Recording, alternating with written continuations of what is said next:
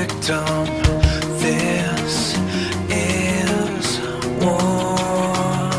It's the moment of truth and the moment to lie, and the moment to live, and the moment to die, the moment to fight, the moment to fight, to fight, to fight, to fight.